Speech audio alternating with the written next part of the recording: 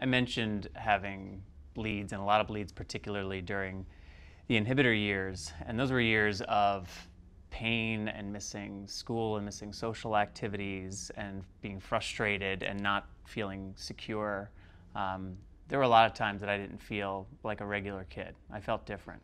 And I did not like hemophilia.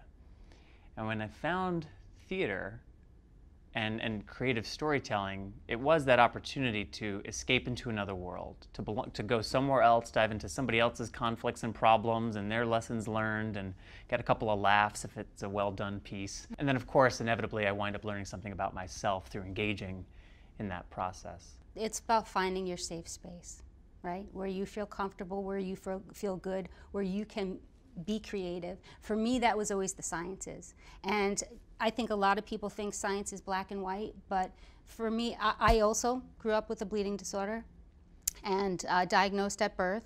And I, I, think it was, it was a challenge for me growing up differently. Um, and I think that helped gravitate me towards science to really want to understand what was different about me and my body. Do you mind sharing what that bleeding disorder is? I have von Willebrand's type 2B and, and ITP as well. And um, it's, there's really no treatment per se, no prophylactic treatment. Um, it's more the kitchen sink every time I have an emergent situation.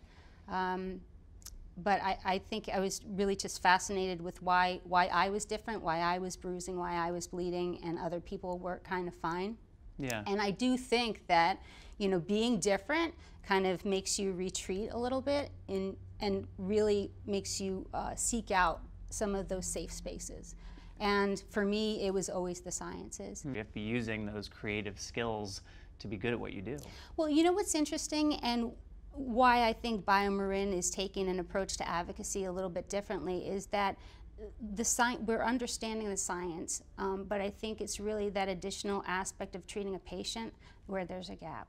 Hmm. And that's where I think breaking through is a huge opportunity, is that we're not only, you know, treating the patient's body, we're treating the mind and the soul by creating this safe space for them to actually be creative, to be themselves, to be part of a community, to create something that's going to be unique, unique to them and, and the participants in this event.